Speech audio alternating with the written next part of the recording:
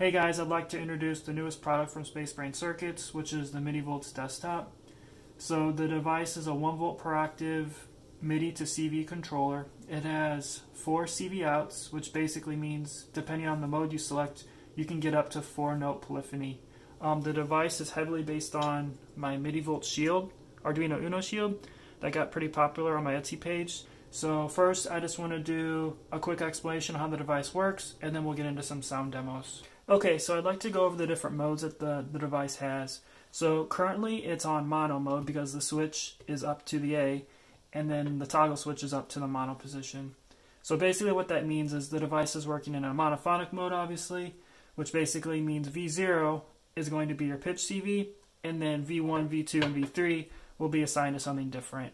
And you can tell what those assignments are by checking this tiny little chart um, on the left side of the device. So in this case, like I said, V0 is pitch CV, V1 is velocity, V2 is aftertouch, and then V3 is CC1, um, which out of the box is assigned to modulation wheel. So let's go ahead and do a demo of that. So I just have my multimeter connected to the CV output. So when we press a note, you can see we're getting pitch changes um, and also, as you can see, when I press a note, the gate LED lights up, and that's because because the CV is acting as pitch CV, you're getting a gate of 5 volts um, also outputted to trigger um, envelopes or what else, whatever else you would want to trigger. Okay, so the next mode is duophonic mode, which is duo here. So basically in this one, um, your first note will be assigned to V0, and then your second note plate will be assigned to V1. So as you can see how both LEDs light up as I play.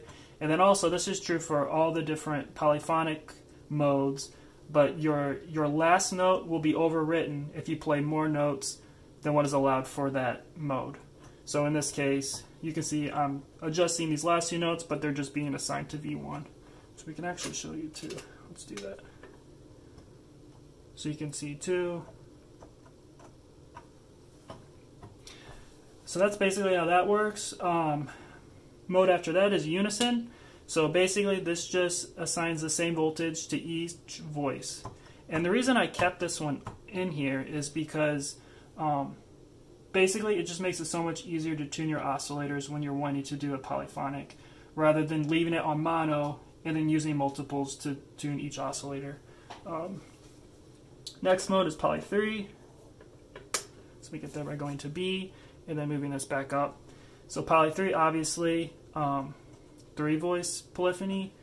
Um, on this mode also V3 is assigned to CC1 which like I said before that's modulation wheel and then poly 4 for note polyphony and then the last note is or, I'm sorry the last mode is CC which is basically V0 is pitch um, and um, the remaining voices are assigned to CC1, CC2, and CC3, which these are adjustable as well, which we'll get to later. And lastly, the device all has a MIDI to clock output, um, which basically just converts your MIDI clock signal to 5 volt pulse. Okay, so I wanted to use my Moog grandmother to demo the MIDI-Volts desktop, and basically the reason why is that you can convert this to a polyphonic synthesizer. So for the purpose of this demo, I'm going to use my grandmother keyboard to control the MIDI-Volts desktop. So in order to do this, you actually need to turn off the local mode.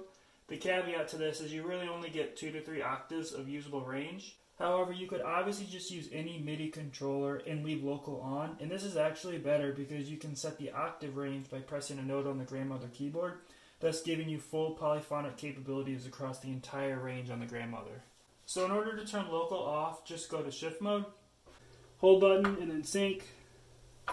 They'll start blinking, press D sharp, and then you press F twice. So I'm going to go CV out on V0 to pitch in, and then we'll do CV out on V1 to oscillator 2 pitch in. And then as I said before, I created the unison mode to be able to tune easier. So let's go ahead and do that next. So I'm going to switch this to unison, and then let's go ahead and go to drone.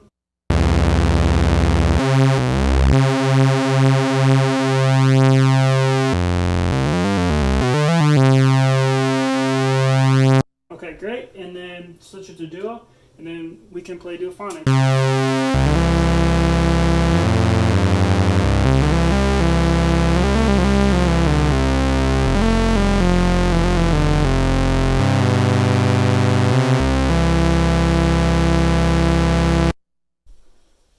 Okay, so next up, let's do three voice polyphony.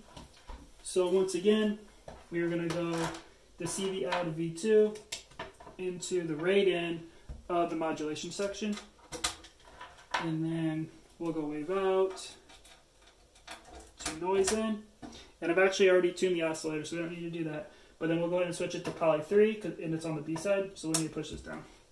And then...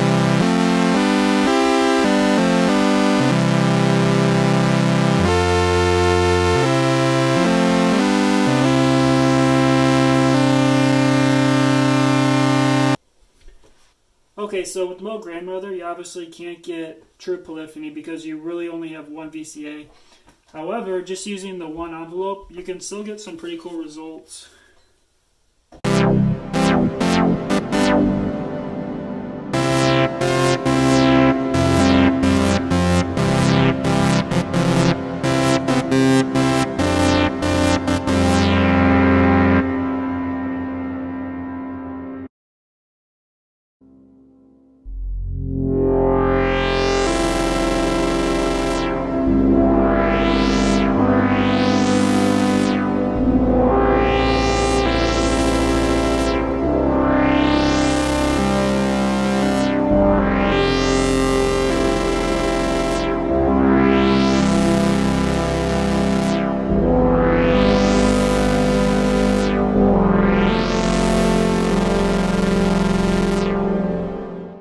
Okay, so the last thing I wanted to mention is some of the customization you can do with MIDI-Volts Desktop. So before I ship each unit, I calibrate it here myself. Um, but you can also do this calibration if over time the unit begins to drift. Um, but it's all done over SysEx messages, which I have available on my GitHub page.